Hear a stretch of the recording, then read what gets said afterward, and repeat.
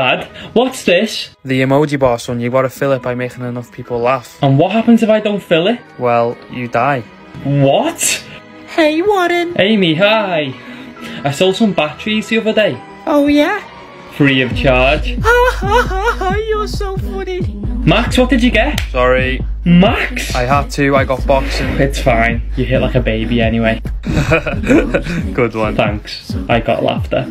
Oh, I've got three hours left and I'm not even halfway there. Mr. Smith, What? stinks. Not funny, Warren. Detention after class. I got one hour left. No, no, I gotta find someone. Jess, I need you to laugh. No, I'm not in the mood. Please, Jess, please, please. Warren, go away, you freak. Might as well have one last drink before I die. Loser. Chad, thank you.